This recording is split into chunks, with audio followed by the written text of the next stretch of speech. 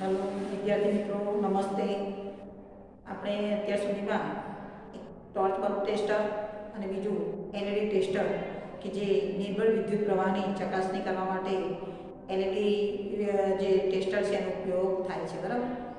LED એમ કે નિર્બળ વિદ્યુત પ્રવાહ હોય તો પણ એમ કે એલઈડી પ્રકાશિત થઈ શકે છે, બરાબર? એલઈડીનું ફૂલ ફોર્મ છે લાઇટ ઇમિટિંગ ડાયોડ બરાબર? એમાં તમે એલઈડીનો નાનો બલ્બ લેશો તો એનો એક છેડો લાંબો હશે અને એક તાર, એટલે કે બે તારો ભટકતા હોય છે, એક તાર લાંબો અને એક તાર ટૂંકો હોય છે. લાંબો તાર હોય છે તે એમ કે બેટરીના ધન ધ્રુવ સાથે, એટલે કે એનોડ સાથે જોડવામાં આવે છે અને જે ટૂંકો છે એ એના ઋણ સાથે જોડવામાં આવે છે. બરાબર? તો એ જે બે છેડા છે એને શું કહેવામાં આવે છે? લીડ્સ કહેવામાં આવે છે. તો ટેસ્ટરો ત્રણ પ્રકારના હોય છે. એમાં બે આપણે જોયા, એક તો ટોર્ચ બલ્બ ટેસ્ટર અને બીજું જોયું એલઈડી ટેસ્ટર બરાબર? હવે ત્રીજું આપણે જોઈએ છીએ તે આપણે સમજીએ. બરાબર? કે એક અન્ય પ્રકારનું ટેસ્ટર બનાવવા માટે આપણે વિદ્યુત પ્રવાહની કોઈ અન્ય અસરનો ઉપયોગ કરી શકીએ છીએ. શું તમને યાદ છે કે વિદ્યુત પ્રવાહ ચુંબકીય અસર પણ ઉત્પન્ન કરે છે? જો વિદ્યુત પ્રવાહ રાસાયણિક અસર ઉત્પન્ન કરે છે અને બીજી કઈ? ઉષ્મીય અસર. એટલે ઉષ્મીય અસર પણ ઉત્પન્ન કરે છે અને રાસાયણિક અસર પણ ઉત્પન્ન કરે છે. હવે આપણે જોઈએ કે વિદ્યુત પ્રવાહની ચુંબકીય અસર, બરાબર? તો વિદ્યુત પ્રવાહની ચુંબકીય અસર ઉત્પન્ન કરે એટલે વિદ્યુત પ્રવાહ ચુંબકીય અસર પણ ઉત્પન્ન કરે છે. જ્યારે કોઈ તારમાંથી વિદ્યુત પ્રવાહ પસાર થાય છે, ત્યારે તેની પાસે રાખેલી ચુંબકીય સોયનું શું થાય છે?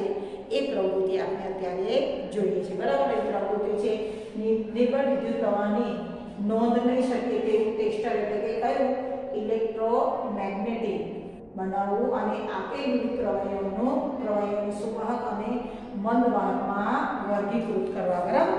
તો આપણે તે પ્રવૃત્તિ અત્યારે સમજીએ છીએ, બરાબર? હવે આપણે જોઈએ કે એમાં શું કરવામાં આવે છે તે બરાબર? તો એમાં વિવિધ પ્રકારના પ્રવાહી લેવામાં આવે છે. એ પહેલાં આપણે આકૃતિ છે એ મુજબ એની કઈ રીતે કરવામાં આવે છે? તો જે દિવાસળી હોય છે, બરાબર? દિવાસળી તમે જોઈ હશે. દિવાસળીને ટ્રે કાઢી નાખવાનું હોય છે. શરૂઆતમાં શું કરવામાં આવે છે? એક માચીસ હોય ખાલી માચીસ લો અને એની જે ટ્રે છે એને બહાર કાઢી દો બરાબર? એને બહાર કાઢો. ટ્રે પર એક વિદ્યુત તારના થોડા આટા વીંટાળો શું કે જે એક ખાલી માચીસ લો એ ટ્રે બહાર કાઢો. અને એના પર કે વિદ્યુત તારો હોય, વિદ્યુત બહાર એને થોડા આટા મારો. ટ્રેની અંદર એક નાનું, એમ કે ચુંબક ચુંબકીય સોય મૂકો, એટલે કહીએ હશે? મોબાઈલ નાનું એકદમ હોય છે. તમે જુઓ, કંપાસમાં પણ આવતું હોય છે. એટલે કે ટ્રેનની અંદર નાની એમ કે ચુંબકીય સોય મૂકો. હવે તારના છેડાને જો, શું કર્યું છે? માચિસની ખાલી ટ્રે લીધી છે, એના ઉપર વાઘ તાર લપેટ્યો છે. હવે એ ટ્રેનની અંદર એક નાનું કે ચુંબકીય સોય મૂકવાની હોય છે. હવે હવે તારના એક છેડાને તાર લપેટશો ટ્રેનની ઉપર એટલે બે છેડાને છૂટા રહેશે. હવે તારના એક છેડાને જો, ક્યાં જવાનું છે તે? હવે તારના એક છેડાને બેટરીના એમ કે એક છેડા સાથે જોડો બરાબર તારના એક જે ટ્રે પર લપેટેલા તાર હશે એના બે છેડા મુક્ત હશે.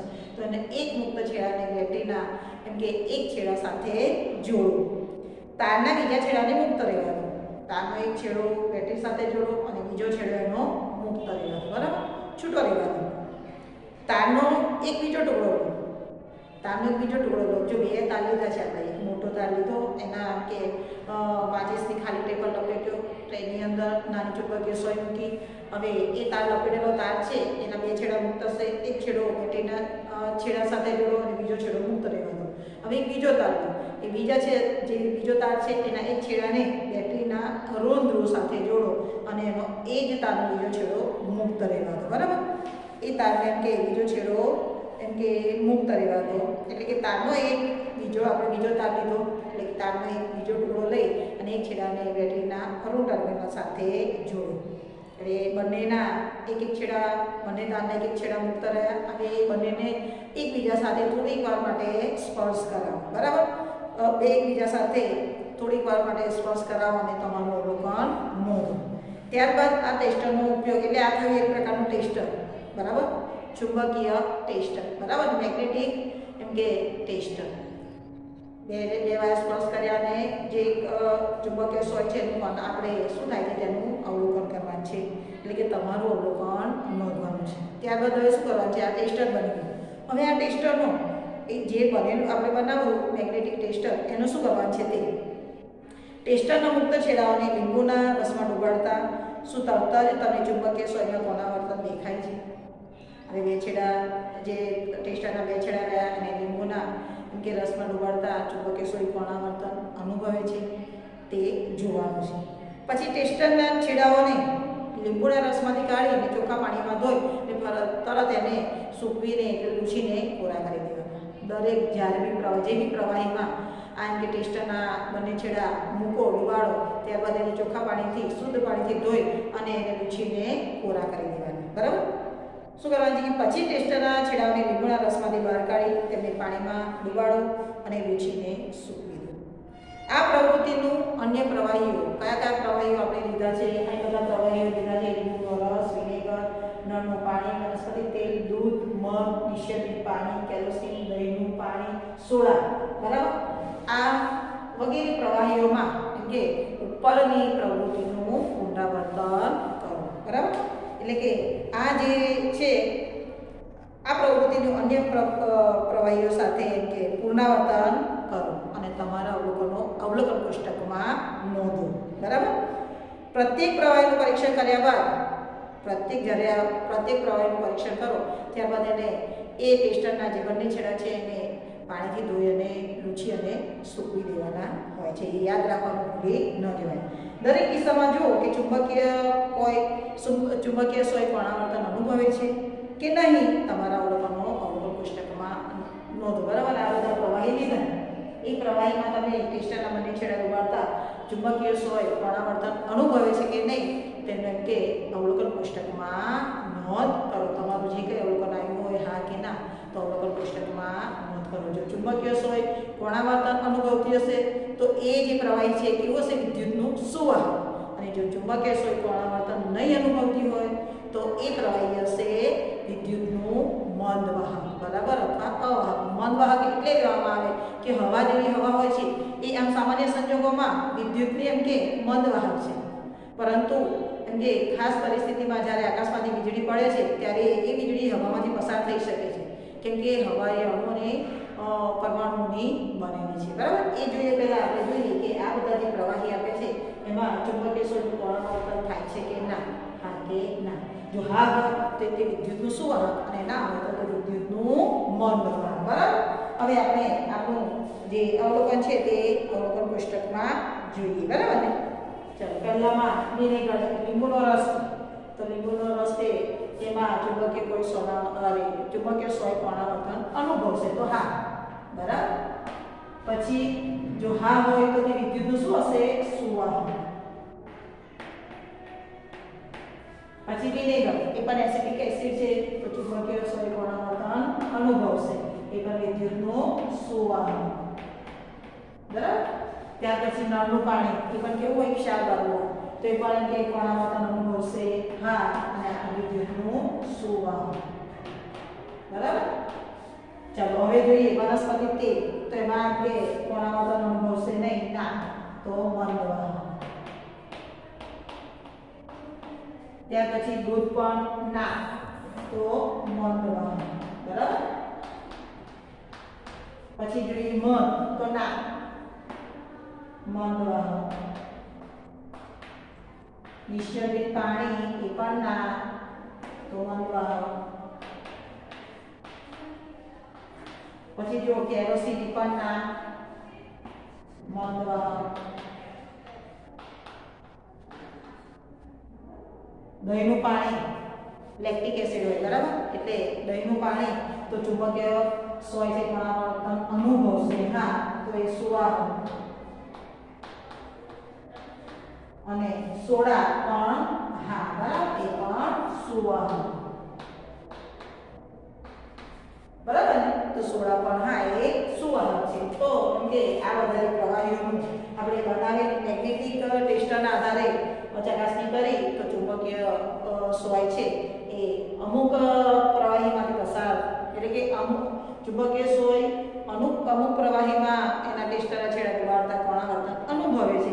તો એ વિદ્યુતનું સુવાહક હશે નથી જે ગુણાવર્તન અનુભવથી જે પ્રવાહીમાં ડુબાડ તો વિદ્યુતનું મંદ વાહક હશે, બરાબર?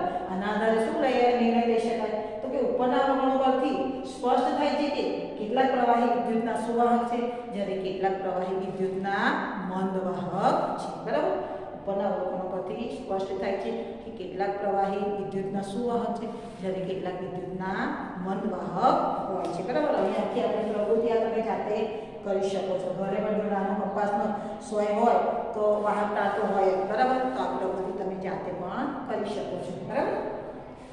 હવે અમુક જાણકારી છે કે હકીકતમાં ચોક્કસ વિશિષ્ટ પરિસ્થિતિમાં મોટાભાગના પદાર્થો ઘન, વાયુ અને પ્રવાહી, બરાબર? વિદ્યુત પ્રવાહનું વહન કરી શકે છે. મોટાભાગના પ્રવાહી હોય છે એ, એમ કે ચોક્કસ પરિસ્થિતિ, ચોક્કસ વિશિષ્ટ પરિસ્થિતિમાં વિદ્યુત પ્રવાહ કે જે વિદ્યુત પ્રવાહનું વહન કરી શકે. મોટાભાગના પ્રવાહી ઘન અને વાયુઓ ચોક્કસ વિશિષ્ટ પરિસ્થિતિમાં વિદ્યુત પ્રવાહનું વહન કરી શકે છે. આ જ કારણથી આપણે પદાર્થોને સુવાહકો અને અવાહકમાં વર્ગીકૃત કરવાને બદલે સુવાહક અને મંદવાહકમાં વર્ગીકૃત કરવું વધારે અનુકૂળ બને છે.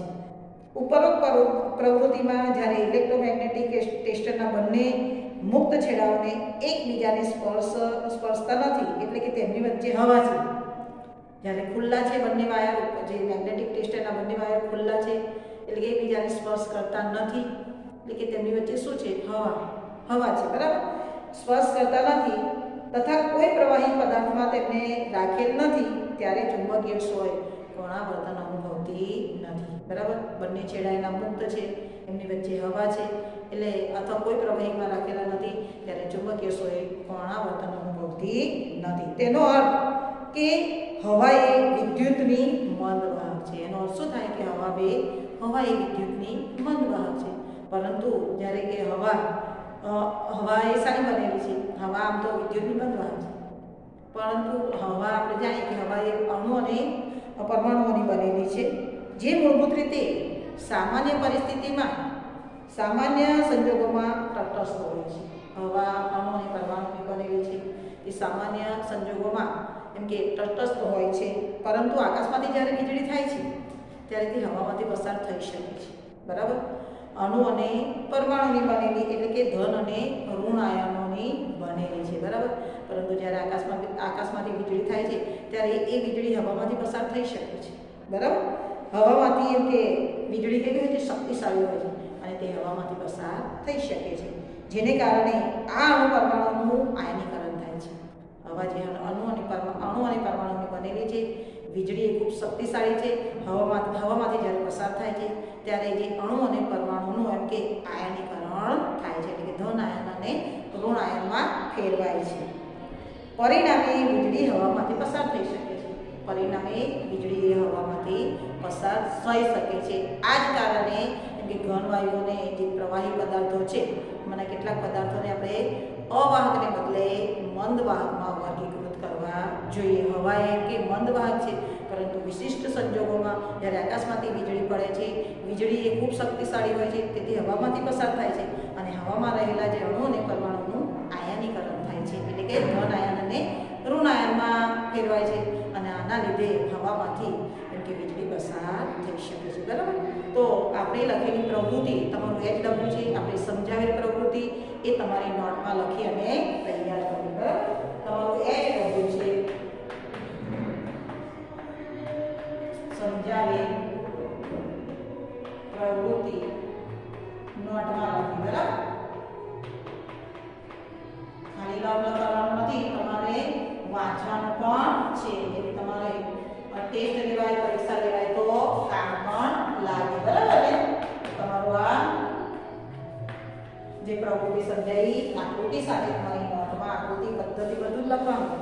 આકૃતિ પદ્ધતિ સાથે નોટમાં લખી અને તૈયાર કરવાની જય હિન્દ. અસ્તુ